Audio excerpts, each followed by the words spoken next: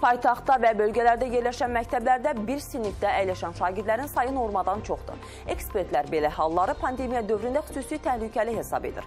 Bundan başqa sinifdə şagirdlərin sayının çox olması tədrisin keyfiyyətinə də öz mənfi təsirini göstərir.